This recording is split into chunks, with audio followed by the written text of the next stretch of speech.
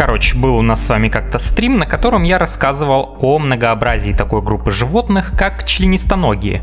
Немного там еще было об эволюционных принципах и различных гипотезах происхождения насекомых. Там я упомянул, что можно было бы разобраться в вопросе происхождения и эволюции насекомых подетальнее, о чем вы много писали даже после выхода стрима в его комментариях. Ну и теперь этот день настал. Значит, планировал я ролик минут ну, на 10 максимум. Но углубился в тему, и в ней оказалось так много тонкостей, которые жалко упускать, и вот у меня уже 7 страниц текста, так что даже не знаю, насколько все это затянется. Поразительная древность, разнообразие и экологическое значение членистоногих э, всегда вдохновляли многочисленные попытки исследователей разобраться в их глубокой филогенетической истории. В принципе, интерес к насекомым можно понять, ведь количество описанных видов насекомых превышает количество всех описанных видов растений, грибов и всех остальных животных, вместе взятых. Ну так, к сведению. Поэтому сегодня поговорим о современных представлениях происхождения насекомых, а также посмотрим, как выглядели их первые представители. После этого видоса можете забыть о такой группе животных, как трахейно-дышащие, а также об учебнике биологии за седьмой класс, это которые многообразие живых организмов. Ведь гипотеза родства насекомых и многоножек, а также версия происхождения членистоногих от кольчатых червей безвозвратно канули в лету еще в начале нулевых годов, а то и раньше. Погнали! Итак, для начала кратко вспомним о современной систематике членистоногих и об их положении на эволюционном древе. Схема. Она немного упрощена, но сегодня нам этого будет более чем достаточно. Прежде всего стоит понимать, что эволюция это ни разу не линейный процесс. Группы живых организмов постоянно дифференцируются, разделяются на новые популяции, виды и группы. В общем, еще до начала кембрийского периода, более 560 миллионов лет назад, жило существо – Урбилатия. Это был маленький червячок размером с рисовое зерно, и несмотря на свой внешний вид и размер, этот червячок был максимально прогрессивным в свое время, ведь жил он в период морских садов и диакария, когда все животные были максимально минимально подвижны. Урбилатия была самым первым двусторонне симметричным животным, или по-другому билатеральным. В начале своего эволюционного пути билатералии разделились на первичноротых и вторичноротых. Определяются эти группы способами закладки рта и жопного отверстия на стадии гаструляции. В эмбриологию углубимся в другой раз. К вторичноротым относятся иглокожие, полухордовые и хордовые. К последним относятся как раз позвоночные, и мы в их числе. О вторичноротых говорить не будем. Первичноротые же в процессе эволюции разделились на спиральных и линяющих. Спиральные это моллюски, кольчатые черви и плоские черви. Все они характеризуются спиральным дроблением зиготы, опять же во время эмбриогенеза. Представители группы линяющих, соответственно, характерны тем, что периодически сбрасывают свои внешние покровы в процессе роста. К ним относятся круглые черви, тихоходки, приапулиды, это такие морские, сами видите что, также анихофоры, вымершие динокориды и членистоногие. Следовательно, школьный учебник по биологии уже на этом этапе идет в одно место, ведь там нас учат, что членистоногие происходят от древних многощетинковых кольчатых червей.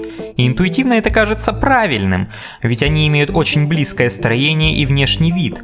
Но вот молекулярные данные, а также исследования эмбриогенеза говорит нам о том, что это внешнее сходство между столь неродственными группами животных – очередной случай конвергентной эволюции.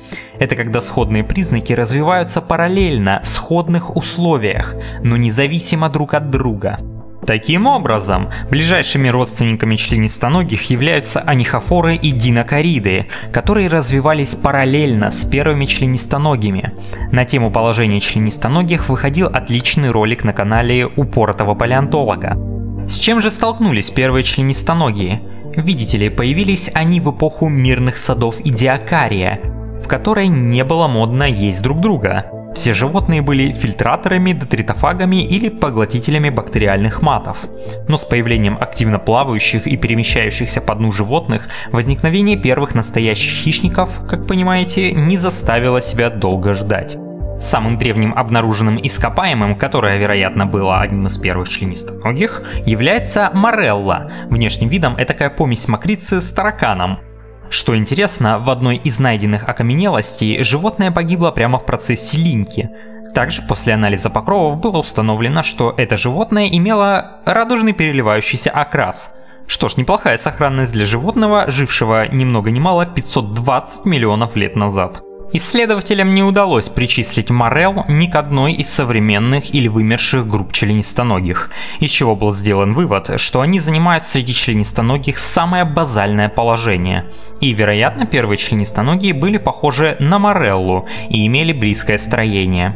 У ближайших родственников членистоногих, динокорид, не было полноценного ротового аппарата, Например, у аномалакариса, одного из первых апекс-хищников, по краям рта было лишь три хитиновых створки, при помощи которых он мог убивать и измельчать некрупных хордовых, но никак не членистоногих, покрытых внешним скелетом. Сами понимаете, грызть хитин хитиновыми зубами не вариант. К слову, у Морел, первых членистоногих, о которых мы говорили только что, тоже не было ни зубов, ни ротовых придатков. А так как в связи с активным образом жизни увеличивается скорость обмена веществ, жевать бактериальные маты перестает быть энергоэффективно. Так что первым членистоногим было просто необходимо изобрести достойный ротовой аппарат. Для чего?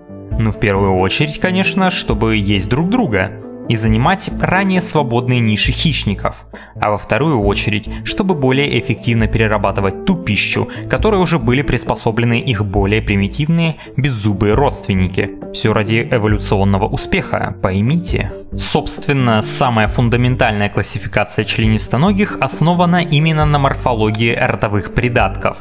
Итак, во время кимбрийского взрыва биоразнообразия членистоногие радостно развалились на хелицеровую и челюстную ветки. От хелицеровой ветки еще до появления, собственно, хелицер и педипаль отпочковался класс узнаваемых животных – трилобитов. Они хоть и не имели специализированного ротового аппарата, все же решили проблему с питанием, научившись довольно нехитрым образом фильтровать грунт. Как это было? Трилобит движется вдоль дна, и вдруг при помощи своих длинных антенн улавливает какой-то вкусный аромат. Ну там полуразложившегося трупика какого-нибудь хордового или какашек аномалакариса. Что делает трилобит? Он встает над вкусняхой и при помощи лапок начинает поднимать взвесь ила и съедобных частичек в области под своим телом. Лапки трилобита двигались волнообразно изгибаясь в сторону рта, отфильтровывая съедобные частички и продвигая их в рот. Таким образом, трилобит мог отфильтровывать и весь грунт без разбора. Так питалось большинство трилобитов, хотя некоторые умудрялись становиться охотниками, используя вместо челюстей выросты на передних лапках. Далее от этой ветви отделилась уникальная клада – морские пауки. Уникальная хотя бы потому, что у них выросты кишки заходят прям в ноги, прям до самого конца. Как тебе такое, Сонин? О морских пауках вообще можно делать отдельный выпуск, но сейчас кратко. Настоящими пауками они не являются. Ротовое отверстие морских пауков напоминает таковое у аномалокарисов, но не из жесткого хитина, а из мягкой кутикулы. Зато в их ротовой полости есть твердые выросты, напоминающие микрозубки на радуле моллюсков. Далее идут настоящие хелицеровые с более продвинутым ротовым аппаратом, мечехвосты, ракоскорпионы и паукообразные. У вероятного общего предка хелицеровых малисонии вторая пара антенн, которая сохранилась у ракообразных, преобразовалась в трехчленистые клешни, хелицеры, которые были способны отрывать кусочки пищи и подавать их в рот – у современных пауков число членников хелицер сократилось до одного, так как паукам не нужно перетирать свою пищу. Пищеварение ведь у них наружное. Так, это была одна ветка. Членистоногие второй ветки решили, что не хотят отщипывать от пищи маленькие кусочки, а хотят вгрызаться в море всецело. Поэтому развили сложную систему челюстей, две пары максил и как минимум одну пару мощных жвал. Общим предком жвалоносных может быть такумия около 508 миллионов лет назад. Такой аппарат позволял успешно перетирать как растительную, так и животную пищу. В этой ветке у нас три группы – ракообразные, многоножки и гексаподы, или шестиногие, которые представлены главным образом насекомыми. Ну, три группы по общему признаку – это, конечно, хорошо. Но вот какое родство они имеют друг другу? Происхождение насекомых долгое время оставалось загадкой из-за малого количества находок той эпохи.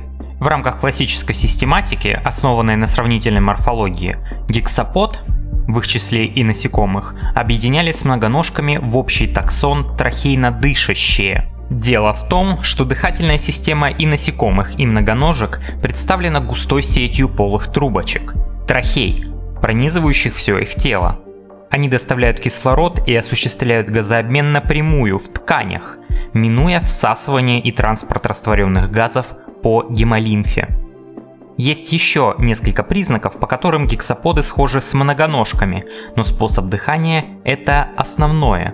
Был еще один вариант этой гипотезы, мол, насекомые являются не родственниками, а потомками многоножек, а ближайшими родственниками среди них насекомым приходятся симфилы.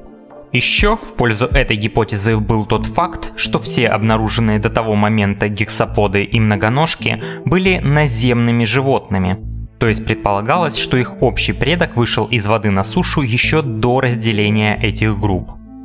Впервые эта гипотеза дала трещину после обнаружения окаменелостей наиболее базальных двупарноногих многоножек, которые по определенным признакам были первично водными обитателями и на сушу не совались.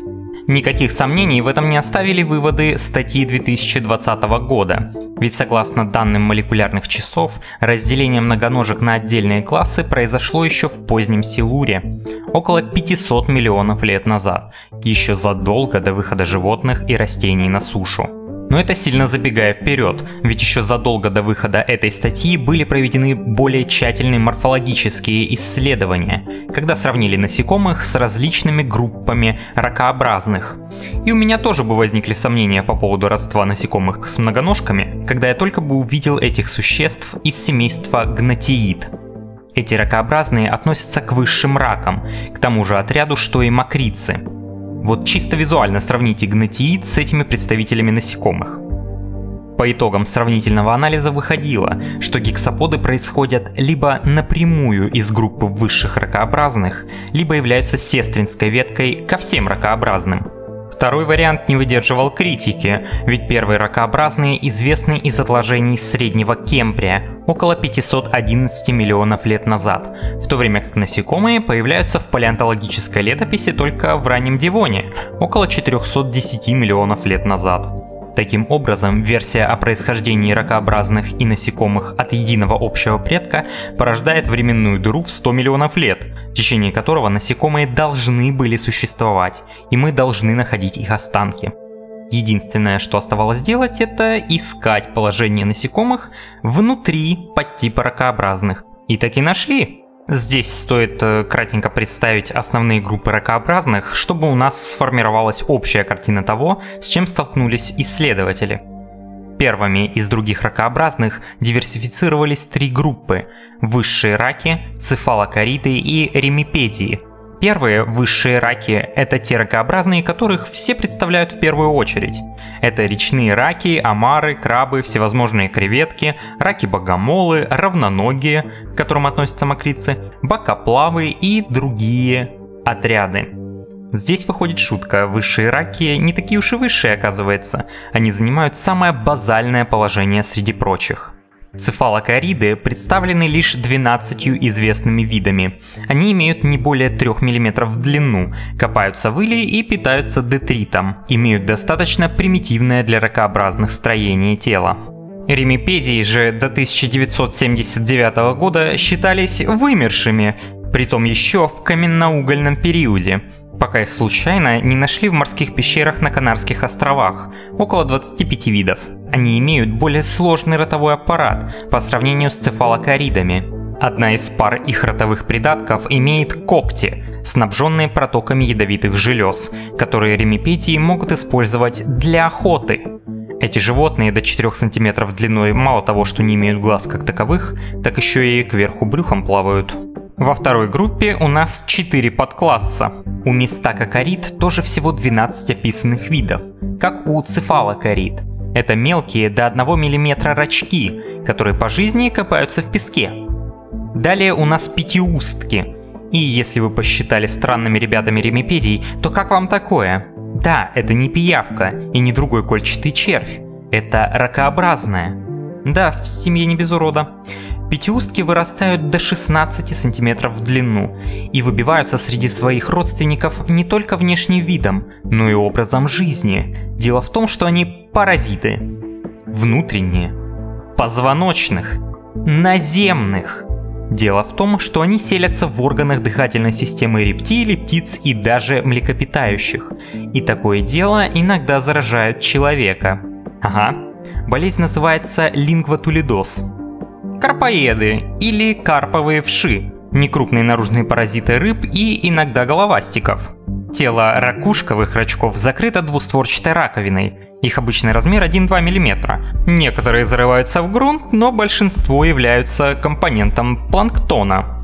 Последнюю группу открывают жаброногие. Их самые узнаваемые представители это щитни, а также микроскопические дафнии и артемии. Эти ракообразные фильтруют воду при помощи всех ножек, как это делали трилобиты. Веслоноги. Размер большинства из них до 1 см. Главным образом это внешние паразиты беспозвоночных и позвоночных животных. Некоторые являются планктонными. Это самый многочисленный отряд ракообразных, десятки тысяч видов, а самые узнаваемые их представители – циклопы, Замыкают разнообразие ракообразных текостраки. Это в основном прикрепленные организмы, больше напоминающие м, кораллы. Ну, картинки морских желудей вы точно видели же. Что ж, э, теперь среди всего этого бульона ракообразных нам как-то нужно вывести происхождение гексапод. Итак, в начале 21 века с развитием технологий компьютерного моделирования и молекулярной генетики исследователи наконец приходят к наиболее конкретным выводам о происхождении гексапод и насекомых в их числе. Короче, в 2006 году вышла статья в журнале Science.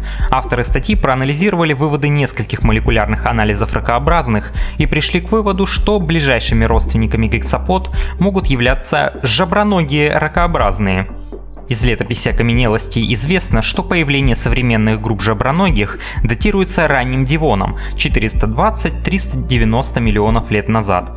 К этому времени они были уже полностью адаптированы к пресноводным средам обитания. Датировки появления первых пресноводных жаброногих точно соответствуют времени появления первых окаменелостей гексапод. Отсюда следует предположение, что их последний общий предок плавал в пресноводном пруду где-то в позднем Силуре 423-416 миллионов лет назад.